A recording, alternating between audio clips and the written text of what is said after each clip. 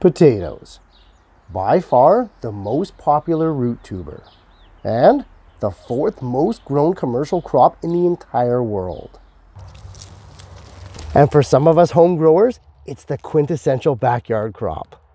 Close cousins to both tomatoes and peppers, potatoes are in that large group of plants known as nightshades. Though they will flower and fruit, the leaves, stems, flowers, and that fruit are not edible. Instead, potatoes are grown for these tasty tubers. There's over 5,000 varieties of potatoes grown worldwide, all with roughly the same requirements though. Today, we'll look at growing the humble potato, all the way from planting to harvest and everything in between. Buckle up, because once you taste fresh homegrown potatoes right out of the garden, nothing else will do.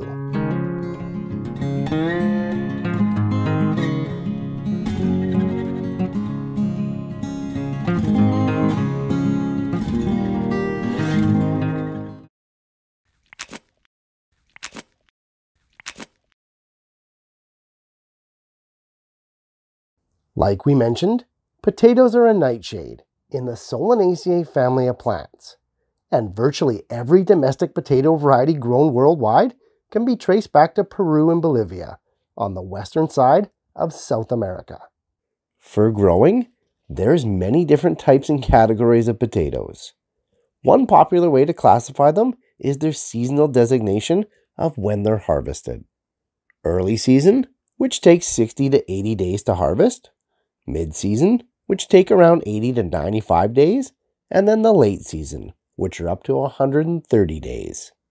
I do try to encourage you to grow different varieties to see what grows best in your climate and in your conditions.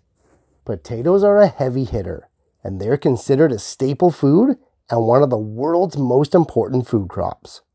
Although they're comprised of roughly 80% water, potatoes are a rich source of vitamin B6 vitamin C, potassium, as well as fiber, protein, and carbohydrates. Around the world, over 350 million tons of potatoes are produced commercially each year, with China making up about 22% of that amount. Commercial production aside, nothing beats the stuff that comes out of your own garden. So let's get started. Just as one potato crop ends and we harvest those fabulous tubers, so begins a new one. You see, potatoes, even tiny ones like this, are one of those self-sufficient crops that literally grow from themselves. Brand new potato plants grow from specific locations on the potato tuber skin known as eyes. These eyes, also called rosettes, contain new leaf primordia as well as meristems and they give rise to brand new individual independent potato plants. It's pretty amazing. The act of sprouting your potatoes to obtain new potato plants is a process known as chitting. It's actually how all potato crops are started. It's pretty easy. Let me show you how. Beginning a month before you want to plant your potatoes out in the garden, place your washed, clean, organic potatoes in a sunny windowsill or countertop. Within a week, you'll start to see little sprouts forming. And two to three weeks after that, you can actually plant them. Now, this process happens in the darkness as well, as many of you have probably already experienced. But chitting your potatoes in the light is much faster and much more reliable. Each eye represents a whole new plant, so a single potato can have three, four, five, or even more plants sprouting up. I cut mine apart into single specimens and plant accordingly. If the weather's warm enough with soil temperatures of 40 degrees Fahrenheit or higher, the potatoes can be planted right out in the garden. I tend to always start mine early, so I plant my young potatoes up into small pots first as a transitory step.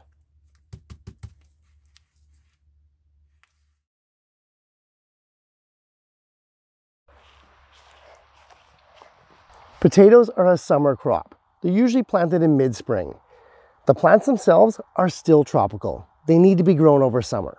However, the potatoes that we harvest, well, they're pretty versatile and they can be pulled up at multiple times of the year. And this is what confuses people into thinking that potatoes are a cold weather plant. They're not. Harvest times, which we'll get into later, run anywhere from 60 days to four months after planting.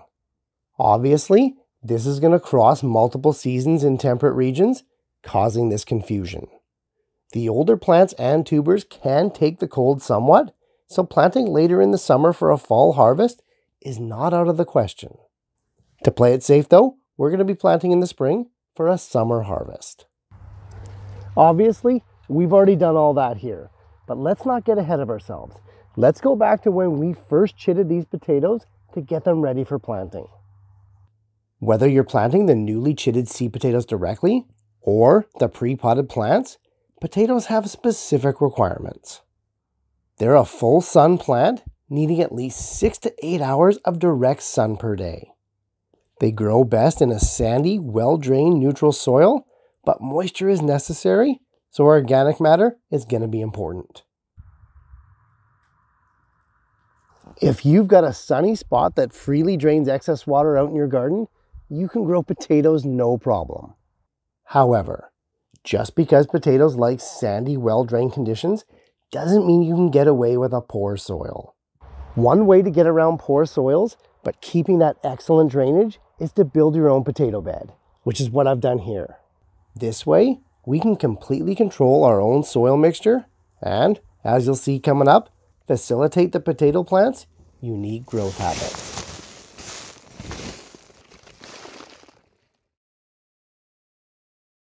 Potato plants are pretty low maintenance, essentially taking care of themselves if the conditions are right.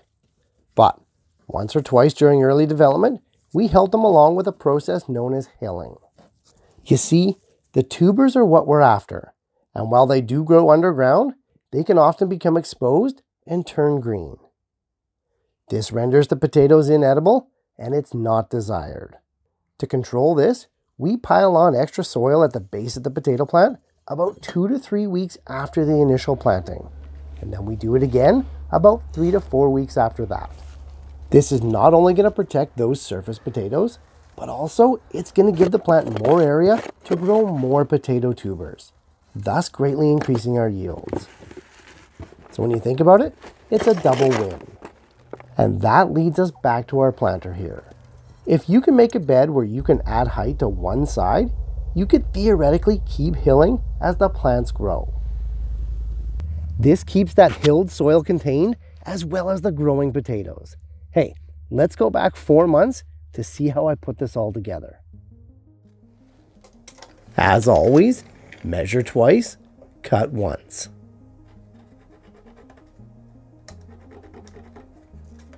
Building a potato bed doesn't have to be hard or elaborate or even expensive. In fact, this bed is going to be constructed entirely using reclaimed and scrap wood pieces. Two by fours make up the framework, while two by sixes and more two by fours mixed are going to build up the sides. But even though it's scrap wood, pre-drill everything, especially when screwing in the ends. Without pre-drilled holes, even the best woods will split when screwing together the ends. For potato-specific beds, it's nice to be able to add layers.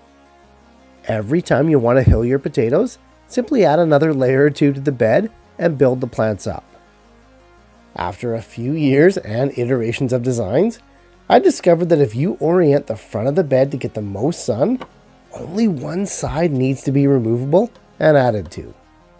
So we can make three sides solid with an open front.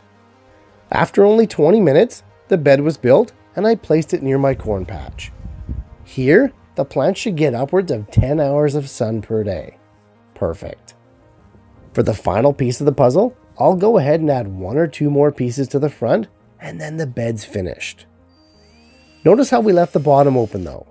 This is going to let the plant's roots escape and have access to more room. Open bottom raised beds are always the way to go. I do like to line the bottom of the beds though before putting in the soil. This way, it'll suppress any weeds or grasses from trying to spring up. Okay, finally I fill up the bed to the front level with some quality compost and soil. And to get it ready for planting on a hot day, let's go ahead and pre-soak that soil first to ensure our success. Okay, with the potatoes chitted and the bed constructed, it's time for planting. And planting potatoes is quite easy. Once your soil is warm enough, plant your seed potatoes or the pre-started plants at least a foot apart with the rows at least two to three feet apart. Potatoes are large plants. Try not to crowd them. The potato tubers tend to cluster around the base of each plant, but most certainly they'll branch up to 8 inches or more outward. So give them the space. And just like tomatoes, plant them deep. Burying leaves in much of the stem is not going to be a problem for these guys. Don't worry about it. The ones I have here were a bit lush and quite floppy. That's okay. I can just bury them even more to keep them upright. Easy stuff.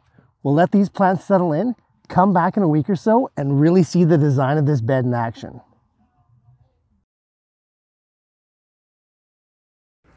Well, less than a week later, and you can see how the potatoes have grown. When you look at how they've grown, essentially they've sprouted up like a vine tomato would.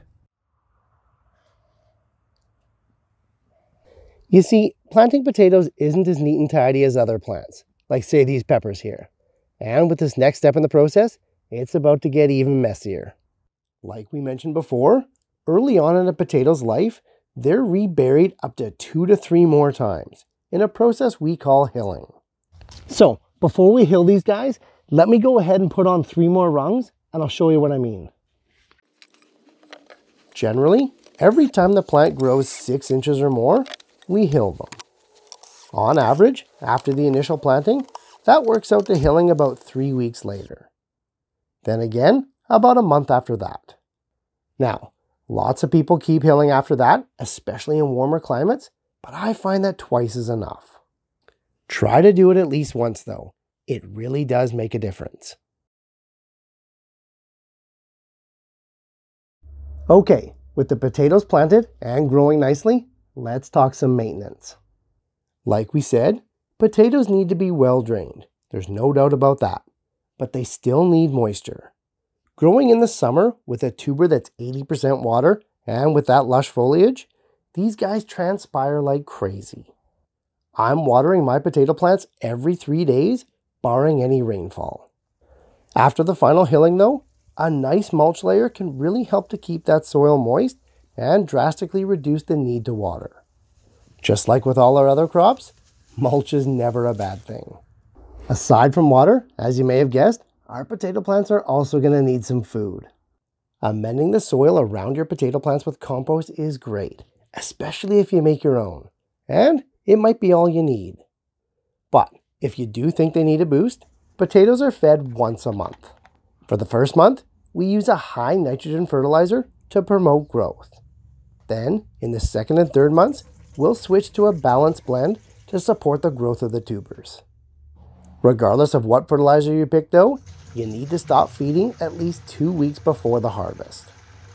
And hey, speaking of that harvest, I think it's time to start digging.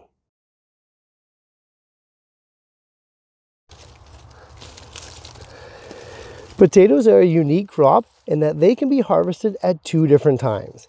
And oddly enough, it's dictated by what's going on above the ground. Regardless of variety, most potatoes can be harvested in two different stages. New or baby potatoes and mature or storage potatoes. And like we said, it's the flowers or foliage that dictate when either or occur. Let me explain. Midway through the potato's life cycle, it's gonna flower. Usually white, medium to small, insignificant flowers that only last a few days. Two weeks after this flowering, is normally the time to harvest your first baby spuds. New potatoes are small, and as you may have guessed, are generally eaten right away. A month to six weeks later, the foliage of the potato plant begins to die. It's right around this time that the larger, more mature storage potatoes are ready for harvest. It's why this potato plant here looks so haggard. Just like your garlic, storage potatoes are ready to harvest when the plants look their worst. And if you planted late in the season, this can happen well into fall frost without any harm to the actual potatoes. No matter what stage you're digging up the potatoes, be gentle with the harvest. Any damaged potatoes are not going to be able to be stored at all. Like a lot of root crops, but especially with potatoes, you never know what you're to get, good or bad. So let's go ahead, take this bed apart and see what we got.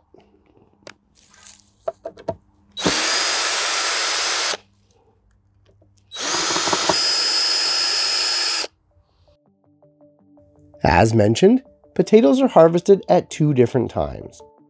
Early on for new or baby potatoes, and then later on when the plant dies off for storage potatoes.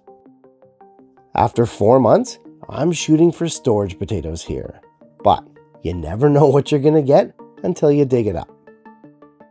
I'm gonna remove all the foliage first to make digging much easier. There's actually two different varieties that I planted in here. Alta Rose, which is a small red, and Kennebec Gold. Because potato growing is purely vegetative, cross-pollination and breeding of the plants is never a concern. You can grow as many varieties of potatoes together as you want.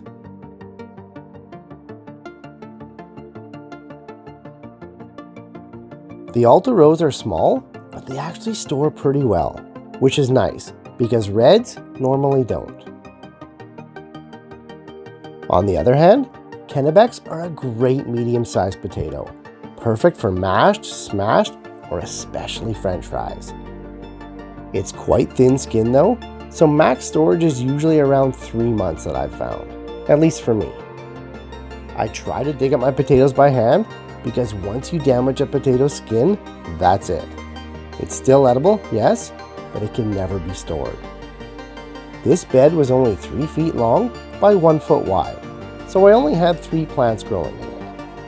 I ended up harvesting 44 potatoes weighing just over 13 pounds for an average potato weight of 134 grams. At $2.99 a pound for organic potatoes, this was worth around 40 bucks. Now, if I didn't hill the potatoes so diligently, I would have expected about half this harvest. If you're trying to preserve your mature or storage potatoes, keep them in a dry, cool, shaded place, single file, for a minimum of two weeks. This curing process is necessary for the potatoes to develop that armor-like skin. They need that skin for the long-term storage. After they're completely dry, brush off any loose soil and store them in a cool, dark location for up to several months. Although the storage of potatoes is pretty easy and straightforward, there's three things you should never do. Don't ever wash your potatoes unless it's time to cook them. Don't store them in airtight containers or bags. And keep them away from light and heat. Whew, that was a lot of potato info. Anytime we cover an important crop like this from planting all the way to harvest, I think it's really beneficial if we do a quick recap to reinforce the main points. Potatoes are one of the most important root crops grown worldwide. Unlike our other veggies, however, they aren't grown from seed. Instead, we plant vegetative offshoots that sprout up on the skin of the very potato tubers we eat. Normally planted in the spring, potatoes are a large crop that need their space. At least a foot apart between plants and two feet between rows. Like their cousins the tomato, potatoes get planted deep. But further to that, they're also reburied up to two to three more times in a process known as hilling. When exposed to sunlight, potatoes become green and inedible. So, Hilling is necessary to protect the harvest. Speaking of hilling in that soil, potatoes need a rich but somewhat sandy, well-drained mixture. They'll absolutely not tolerate standing water, even less so than most of our crops. Full sun for at least 6 to 8 hours per day, and your potatoes are going to be nice and happy. Moving along to harvest, potatoes are a unique plant in that they can be harvested at two different times. Once right after flowering for new or baby potatoes, or later on right after the plant dies off for mature or storage potatoes. Expect anywhere from 6 to 15 potatoes per plant and save some of them back to start the process all over again. Potatoes are really easy to grow, in addition to being generously abundant. With just a few rules to follow, even new growers can find instant success with this root staple. Hopefully using the methods and strategies that we covered here today, I've set you on the path to your best potato harvest yet. Hey, happy growing guys. Hey, thanks so much for watching guys. I appreciate the support more than you know. And if you're getting value from these videos, please like and share them to spread the word and help your fellow gardener to grow better.